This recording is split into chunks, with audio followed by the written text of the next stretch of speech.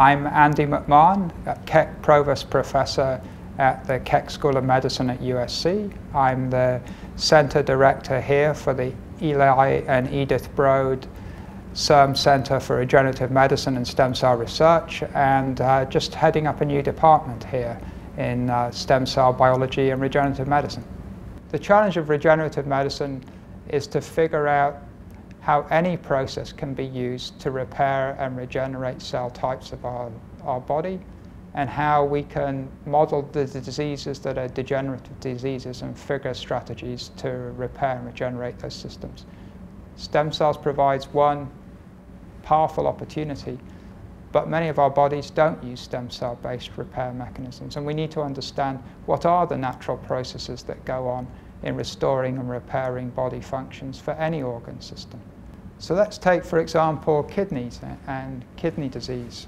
Uh, like many chronic diseases, on the increase associated with other complicating factors like heart disease and diabetes.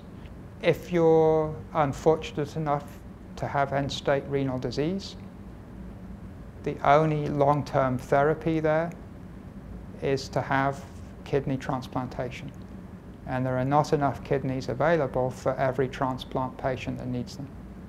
So we have to understand the nature of the disease processes and the processes of repair and regenerating kidney tissues, whether they use stem cells or not. I first got interested in the area that I'm working in actually when I was at high school. So at high school, I had to sit some exams in the United Kingdom to go to university. And the great aspect about sitting these exams was that they excused me from taking the regular classes at school. So they just told me to go out and read things that I thought was interesting and educate myself to take these exams. So you were excused school and you just went off and did what you wanted. And I started reading books about how DNA worked, how our genes worked, and this fascinated me, and I knew then that I had to work on how our genes worked.